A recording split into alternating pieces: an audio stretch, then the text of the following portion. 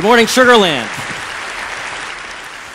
We're going to take a little journey in space and time as we head into the break.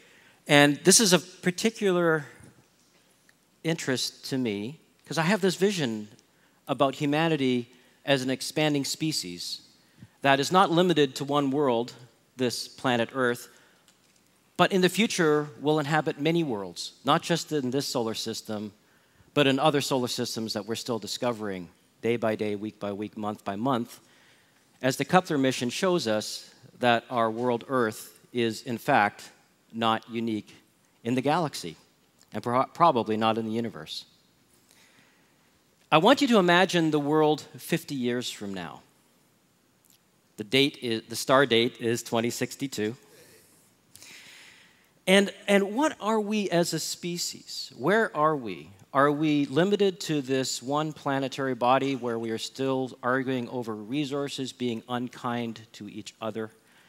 Limited in our adolescence as a species in this two dimensional world where we think that the scarcity of resources is somehow a limitation to us? Or in 50 years, do we imagine that we have, we have broken, the, broken the bounds of the gravity of Earth and have been habiting space in low Earth orbit, where we have continuing facilities and access through both government and private sector rockets and spaceships? Or can we be a little bit more bold than that? Can we think that maybe in 50 years we'll be actually living on other worlds? The moon, Mars, Perhaps the moons of Jupiter and Saturn, perhaps farther. Or is it possible in 50 years, in 2062, we will have discovered, as we expand as a spacefaring civilization, that we are not, in fact, alone in the universe, that there are other intelligences that share the mystery of the universe with us, that are, as we are, seeking to understand our place in it? Could we be joining the Encyclopedia Galactica? Could there be this universal knowledge with civilizations and species that are perhaps thousands, millions, or maybe billions of years in advance of where we are in our infancy as a species? Where could we be in 50 years? Where were we 50 years ago? How many in this audience remember where we were 50 years ago? Look around. This is about the inspiration of the next generation. I was an orphan of Apollo. I remember watching Neil and Buzz bouncing around vaguely uh, on those TV screens. As I was watching Star Trek, where we as a species were boldly going where no one has gone before as Stanley Kubrick and Arthur C. Clarke were painting the screens in the theaters with 2001 A Space Odyssey and blowing our mind about what might be possible as we learn that our myopic ideas of what it is to be alive, right, are completely eclipsed by the reality of the universe once discovered. So, orphans of Apollo, like myself, grew up with this expectation that as we graduated college and university, we would be part of this fantastic future. We'd be going to Mars, we'd be flying through the stars on starships. Of course, that didn't happen. As a species, we went to the first world, the moon, in 1969, July 20th, and for the very first time, human footprints touched another world. It took less than a decade to do that. This fantastic initiative by humanity, driven by a passionate president of a certain nation called the United States, that set in place a goal that was so audacious that technology didn't exist. The materials that had to go into the technology that had to be invented didn't exist. It was slide rules, ladies and gentlemen. and, and, and President Kennedy said, We shall do so within a decade. Where's that boldness today? We did it, but faster than we had achieved it, much faster, we abandoned it. we set foot on another world for the first time in 1969, and we left in 1972, never to return. Why? We had taken those first tentative steps off our first world onto another world, this planetary archipelago. The moon gives us this island on the horizon. And were we Polynesians, perhaps seeing these islands, we would be inspired to invent the technologies and learn how to paddle in our waters close to our shore before we venture off under other worlds. What a wonderful neighbor, what a wonderful circumstance we have to have this moon so convenient. But we abandoned it.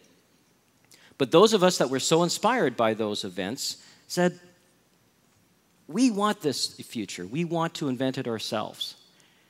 Today, you see a whole new excitement and vision and drive towards space. You see not just the fantastic achievements by NASA, who continues to explore and press the, the frontiers, and as we see with the fantastic landing of Curiosity on Mars. How many saw that wondrous event? I mean, my gosh, I was stunned. I, my jaw dropped. They actually did it. That was amazing engineering that also cost $2.6 billion and involved thousands of people. NASA does wonderful, wonderful things.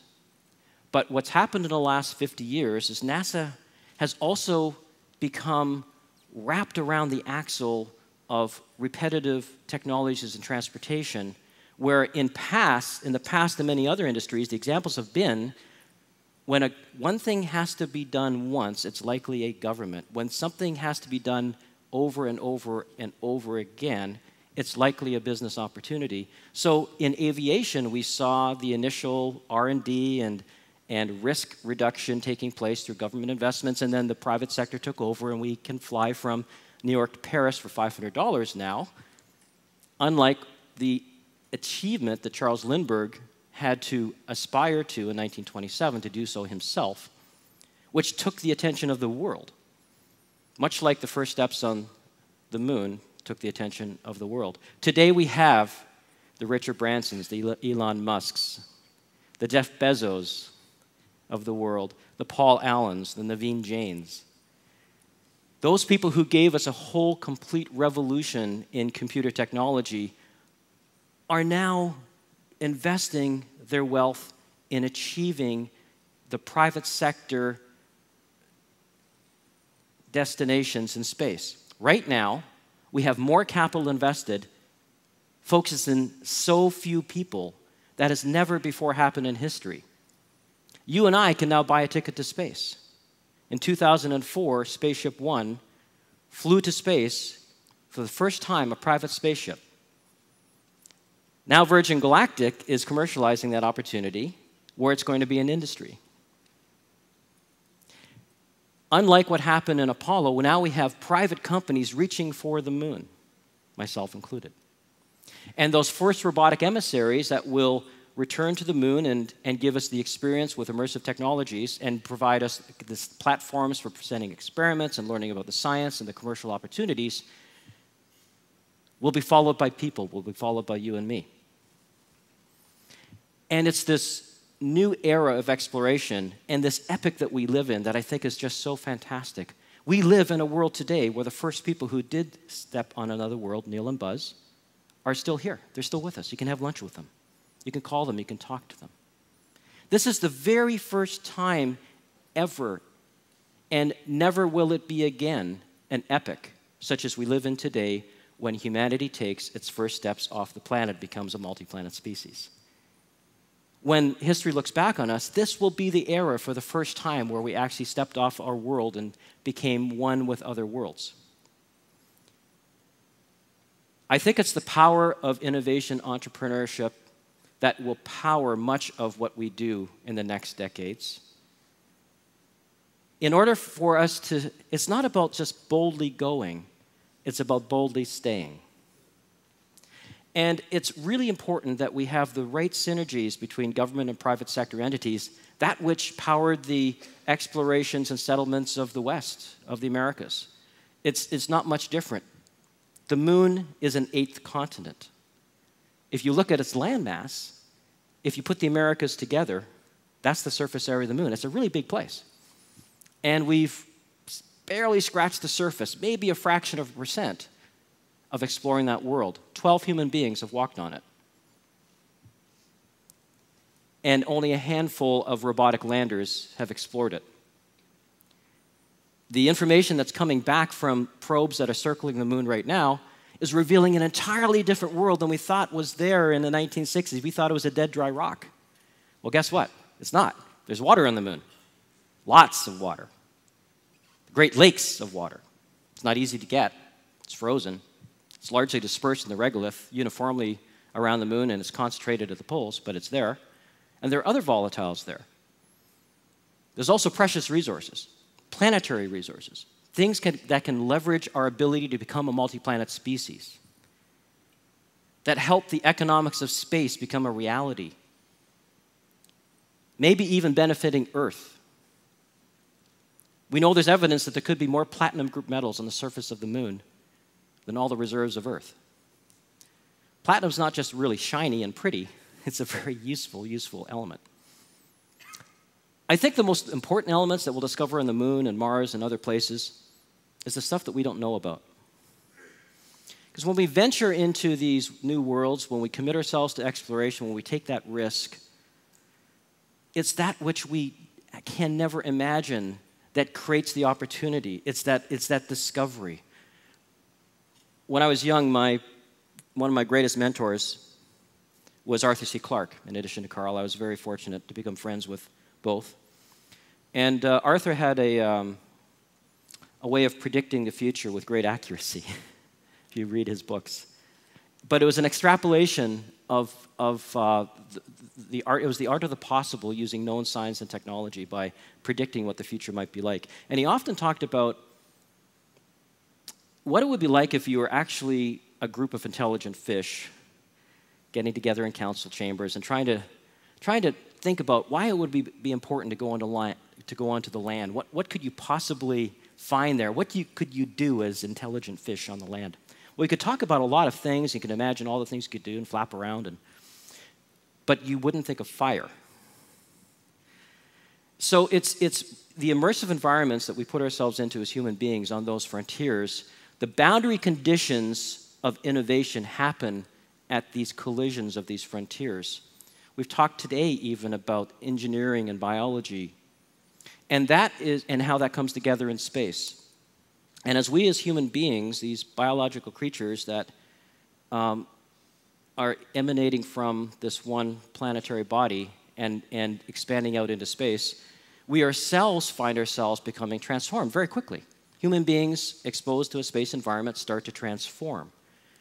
Um, much of that is, talk, is, is, uh, is conveyed as uh, human beings just aren't designed to be in space. Our bodies react very negatively to being in space. Bad things start to happen. We, our muscles atrophy and we have calcium loss in our bones. And maybe it's because our bodies know how to be in space. So maybe it's not Homo sapiens that will ultimately be the descendants of humanity that venture into space, but maybe it's something like Homo spacians. Something that is more transitional and something that envelops the exponential technologies that are impacting our worlds in ways that make technology appear like magic to us. It's happening so fast. And this is what we teach at the Singularity University. At International Space University, we teach about the interdisciplinary subjects you need to understand how to go into space responsibly as a species. And at Singularity University, we talk about the technological, the technological advancing systems that have an exponential matrix to them. So it's not just a linear system, things are expanding exponentially. In 50 years, on the exponential measure, We could be Starship Earth, we could be Homo spacians, we could be a species that has responsibly learned how to be the proper custodians of our own planet, have found the infinite resources in space to feed us as a growing organization, make sure that nobody is wanting anything. And one of the ironic, ironic properties of space is that there is more wealth in space there are more resources in space than anything here on Earth everything that we argue about minerals, volatiles, real estate, everything that causes so much human strife here on this planet is, in, is, is available in infinite quantities. And the most important element is energy. As we go into space, a complete new resource opens up to us. It's like we're fighting over crumbs in a, and, and we're in a supermarket. The future is one of wonderment. It's one where we will be expanding as a planetary species into a multi planet species. The moon will be one of the very first steps to learn how to responsibly and economically, boldly stay in space as we learn to use the resources of the world in which we have explored. We, have, we can't take everything with us, which has been pointed out. We can't take the houses and the trees, we have to take the seeds, whether they be biological and we have to learn how to live off the land. And as we move out into the cosmos, the stepping stone being the moon, and then learning how to live and work on Mars, we may discover tomorrow, maybe 10 years from now, that we are, as a matter of fact, a member of a galactic civilization of which we are the newest members. And this question of whether we are alone in the universe is one that it, it, it, answers very fundamental questions in our soul. And it's one that uh, is a complete mystery because the answer, no matter whether it's positive or negative, is so profound. If we are the only ones, if we are the only instance of life in a galaxy of billions, of hundreds of billions of stars, with hundreds of billions of planets, in a universe of hundreds of billions of galaxies, if we're the only ones, that's an awful waste of space, but what a profound responsibility we have as the local microcosm of life, and it's up to us. If, however, life has arisen many, many times in the galaxy and we're able to touch it or communicate with it, what a profound revelation that would be to us as well. We, the voyagers of the Starship Earth, are in for a fantastic few decades. As we discover new worlds, as we learn how to send our robot emissaries, ourselves, and eventually our descendants, the Homo sapiens of the future, to these other worlds, we'll become a multi planet species. And most importantly, we will not be a single point of failure.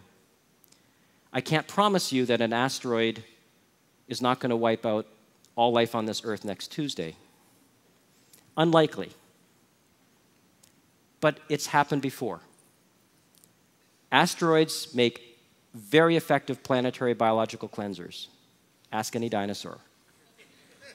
They didn't have a space program. Thank you very much.